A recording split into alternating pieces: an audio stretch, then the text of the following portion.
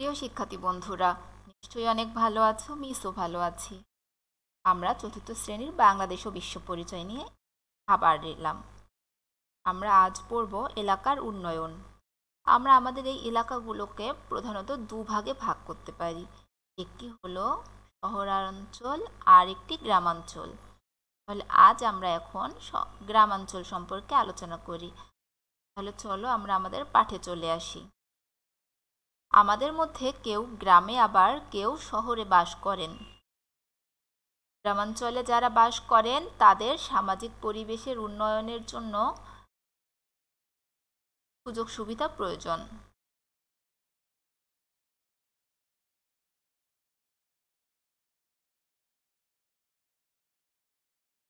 এগুলো হচ্ছে শিক্ষা প্রতিষ্ঠান, যাতায়াতের জন্য রাস্তাঘাট, সেতু বাঁশের সাঁকো অথবা কালভার্ট। নিরাপদ খাবার পানির জন্য নলকূপ। প্রতিটি বাড়িতে স্বাস্থ্যসম্মত পায়খানা। ময়লা ফেলার জন্য নির্দিষ্ট জায়গা। জলাবদ্ধতা মুক্ত রাখার জন্য নালা এবং খাল। পুর ফসলের ক্ষেতে পানি সেচের ব্যবস্থা। বিদ্যুৎ সুবিধা, ধর্মীয় প্রতিষ্ঠান, সাংস্কৃতিক প্রতিষ্ঠান, হাট বাজার, খেলার মাঠ, এই যে বিষয়গুলো, এই সবগুলো গ্রাম অঞ্চলে সুবিধার জন্য অবশ্যই প্রয়োজন।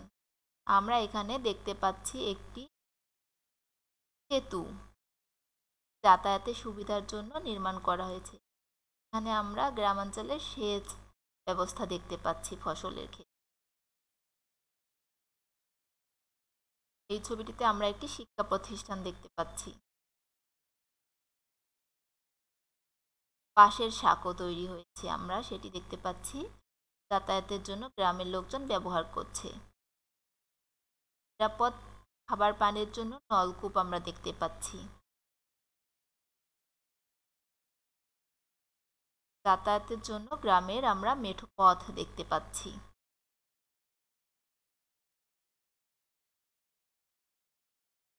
যদি এই সুবিধাগুলো পর্যাপ্ত না হয়, তাহলে স্থানীয় জনগণের উচিত তা ইউনিয়ন পরিষদের চেয়ারম্যান এবং ওয়ার্ড মেম্বারকে জানানো।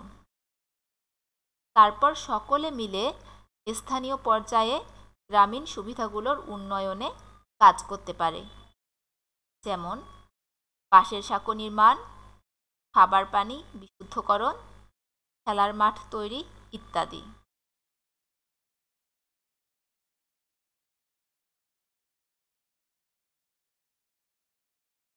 শিক্ষার্থী বন্ধুরা, এই যে আমরা গ্রামাঞ্চলের উন্নয়নের জন্য যে বিষয় এখন এর উপর ভিত্তি করে আমরা কাজ করব।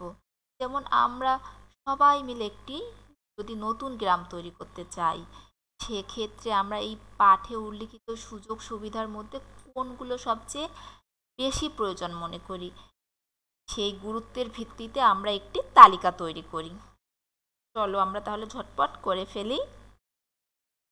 আমরা পাঠে উল্লেখিত সুযোগ সুবিধার মধ্যে যেগুলো নতুন গ্রাম করতে সবচেয়ে বেশি প্রয়োজন, গুরুত্বের ভিত্তিতে নিব তার তালিকাটি আমরা এইভাবে তৈরি করতে পারি। যেমন আমরা এক নম্বরে যাতায়াতের জন্য রাস্তাঘাট, সেতু, সাঁকো ইত্যাদি।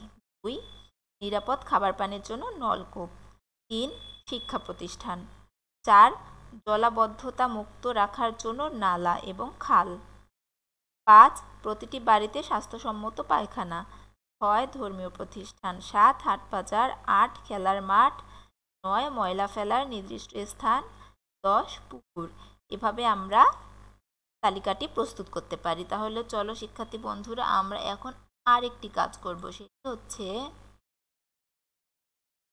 এই যে আমাদের এলাকায় যে সকল উন্নয়ন করতে হবে, সেগুলোর যে একটি তালিকা তৈরি করলাম, যেটি সবচেয়ে বেশি গুরুত্বপূর্ণ তা আগে লিখি এবং আমরা সে, সেগুলো কি আবার আলোচনা করি। বন্ধুদের সাথে শিক্ষকদের সাথে কিংবা বাসায় যারা বড়রা আছে, তাদের সাথে আমরা এই বিষয়গুলো আলোচনা করতে পারি। যেমন, আমরা এক নম্বরে এখানে দিতে পারি শিক্ষা প্রতিষ্ঠান বাড়াতে হবে। আমাদের তো এলাকা, আমরা একটি গ্রাম তৈরি করতে যেগুলো নিলাম, এছাড়াও আমাদের আরও যেগুলো বেশি বেশি প্রয়োজন, সেগুলো আমরা এখন লিখছি। দুই, রাস্তাঘাটের উন্নয়ন করতে হবে। কারণ গ্রামে তো রাস্তা আছে, সেই রাস্তাগুলোর কি? আরও উন্নয়ন করতে হবে। নিরাপদ পানির জন্য আরও নলকূপ বসাতে হবে। গ্রামে যে নলকূপগুলো আছে তা পর্যাপ্ত নয়, এর জন্য আরও নলকূপের ব্যবস্থা করতে হবে। জলাবদ্ধতা মুক্ত রাখার জন্য নালা এবং খাল খনন করতে হবে। ধর্মীয় প্রতিষ্ঠানের সংখ্যা বাড়াতে হবে। গ্রামের লোকজনের সংখ্যা অনেক বেশি, সেই তুলনায় ধর্মীয় প্রতিষ্ঠানের সংখ্যা কম। এর জন্য কি গ্রামে আরও ধর্মীয় প্রতিষ্ঠানের সংখ্যা বাড়াতে হবে? বিদ্যুৎ সুবিধা নিশ্চিত করতে হবে, কারণ গ্রামের সর্বত্র এখনও বিদ্যুৎ পৌঁছায়নি। তাই গ্রামের সর্বত্র কি বিদ্যুৎ সুবিধা নিশ্চিন্ত করতে হবে। খেলার মাঠ বাড়াতে হবে, সাংস্কৃতিক প্রতিষ্ঠান গড়ে তুলতে হবে, এছাড়াও পাঠাগার নির্মাণ করতে হবে। এভাবে যদি আমরা পরিকল্পনা করি এবং সে অনুযায়ী কাজ করি, তাহলে আমাদের গ্রামকে একটি আদর্শ গ্রামে পরিণত হবে। চলো শিক্ষার্থী বন্ধুরা, এখন আমরা এই যে তালিকাগুলো যে তৈরি করলাম, এর ভিত্তিতে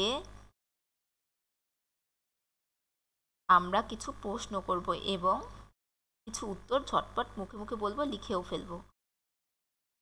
যেই তালিকাটিতে আমরা তৈরি করলাম, সেখান থেকে আমরা এখন বলি যে, কোনগুলো নির্মাণ কাজ?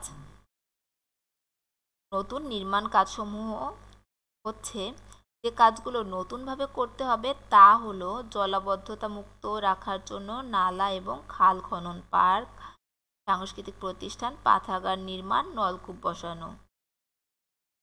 কোনগুলো মেরামতের কাজ? মেরামতের কাজগুলো হচ্ছে যে কাজগুলো মেরামত করতে হবে এগুলোই। সেগুলো হচ্ছে রাস্তাঘাট মেরামত করতে হবে, বিদ্যুৎ সুবিধা বাড়াতে হবে। এই জিনিসগুলো আমাদের কি নতুন করে মেরামত করতে হবে? কোন কাজগুলো? অনেক ব্যয় সাপেক্ষ। আমরা যে তালিকাটি তৈরি করেছি, তার মধ্যে সব থেকে ব্যয় সাপেক্ষ হচ্ছে এলাকার উন্নয়নে যে কাজগুলো অনেক ব্যয় সাপেক্ষ, তা হলো নতুন করে শিক্ষা প্রতিষ্ঠান ধর্মীয় প্রতিষ্ঠান নির্মাণ এবং জলাবদ্ধতা দূরীকরণে নালা এবং খাল খনন। কেননা এগুলোর পেছনে অনেক অর্থ প্রয়োজন, তাই এই কাজগুলো করতে কি ধরনের উপকরণ প্রয়োজন হবে? এই কাজগুলো করতে বিভিন্ন ধরনের উপকরণ প্রয়োজন হয়, যেমন শিক্ষা প্রতিষ্ঠান ও ধর্মীয় প্রতিষ্ঠান প্রতিষ্ঠা করতে অনেক ইট, বালু, সিমেন্ট ও কনক্রিটের প্রয়োজন হয়। খেলার মাঠ ও পার্ক বানাতে জমির প্রয়োজন। পাঠাগার তৈরিতে বইয়ের প্রয়োজন হয়। সর্বোপরি সকল কাজের জন্য অর্থের প্রয়োজন হয়।